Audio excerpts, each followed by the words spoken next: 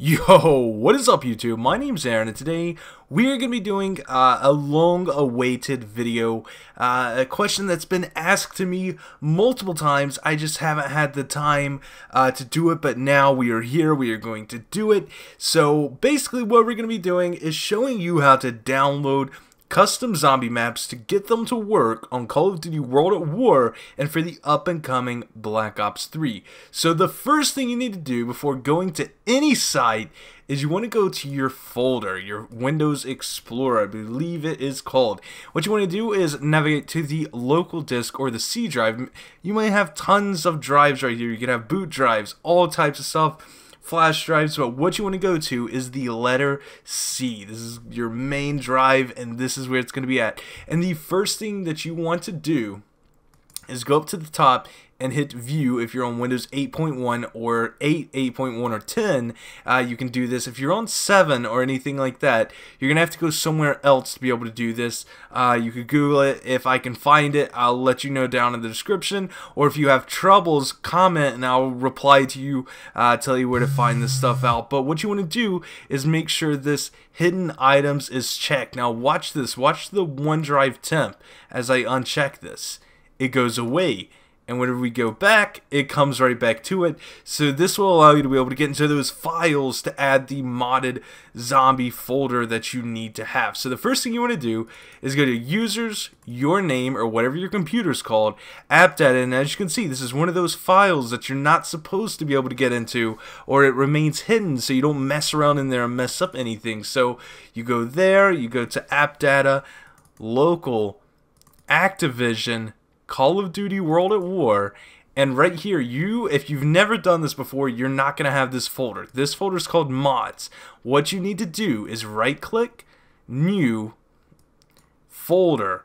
And whenever it comes up, you need to type in M-O-D-S. No capitals, not this. Uh, that might work, but nothing random, okay? Nothing at all. Uh, I'm going to go ahead and delete this because obviously I already have that folder. So once you have the mods folder, nothing's going to be in it. These are all my zombie maps. You're not going to see any of these. So you have that done complete. You can minimize this or close out. It doesn't matter. I'm going to minimize this for right now. Then what you want to do is go to zommods.com or zombie modding. There's tons of websites. This is one of my favorites for right now, uh, just because there are tons of maps that I don't have from this website. I've pretty much looked at zombie modding, pretty much got everything I want. So what we're gonna do is find a map that you want. Uh, it could be right here on the side, or you can get deep into this. Uh, you go to best custom maps. It'll load up. It'll do what it does. But uh, for right now, we're gonna go to Nuketown. Okay, if it will load. Internet. Oh man. Okay. Oh well. It, it comes. It, it's probably gonna go away now. It's probably gonna go away. Uh, let's just do Chem Plant Elite, I guess. Uh, not too sure why this is running that slow. Usually it's instant. I don't know. Internet troubles. I was watching Netflix a second ago and it started disrupting. That's probably what it is. Tons of stuff's going on right now. Wow that was really slow. Uh, okay, so what you're going to do is you're going to hit the download link. This right here is a review, basically. It's going to bring you to Mega or wherever. You're going to download through your browser. Always do not hit download with MegaSync unless you want to download MegaSync. Takes too long. Just do your browser.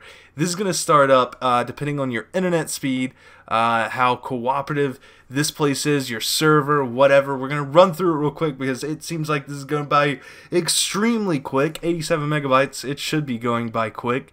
And uh, we are almost done. And what you're going to see is if you're using Firefox, it's going to come up right here. And if you're using Chrome or hopefully not Internet Explorer, it's going to be down here somewhere. It's going to be down around the bottom.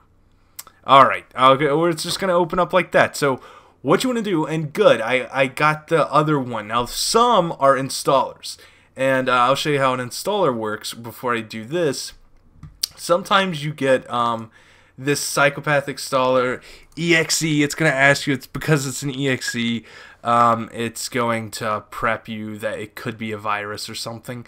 Um, but what you need to do is just hit the install button, go through the tutorial, or go through the steps it says, and it's going to be like something, are you sure this installed correctly? Use compatibility mode, or yes it did.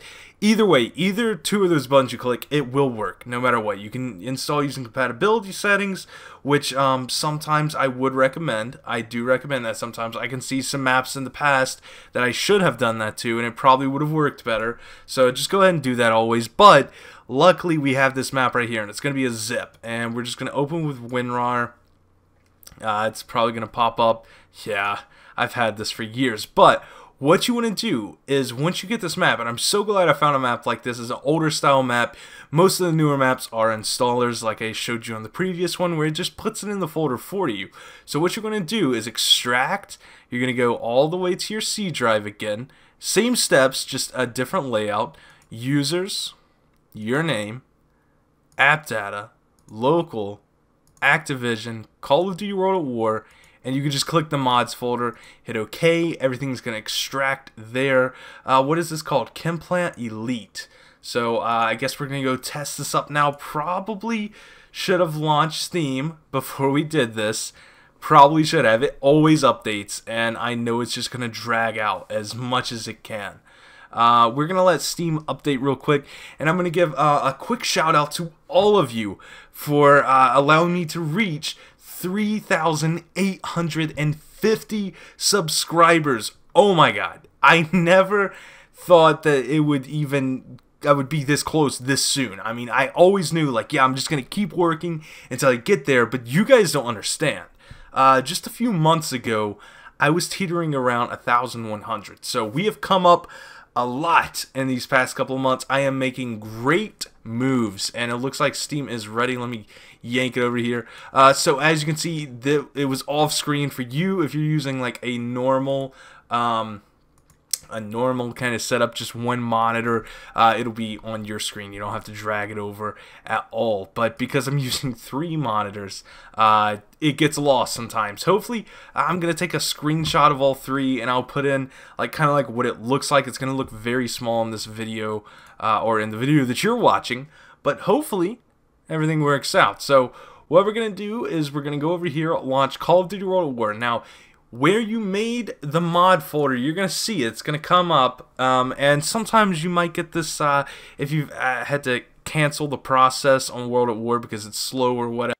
Probably going to say something like uh, use compatibility settings or something. That's whenever you're going to click no or safe settings because that will reset all of your controller configurations. Yes, you can use controller on this game, and yes, it will reset all of your mouse uh, whatever. So right here are the mods. That's the folder that you made. Now, if you did not make that folder, you will not see this here, and you've already messed up. You just got to restart from the beginning. So you're going to go to mods.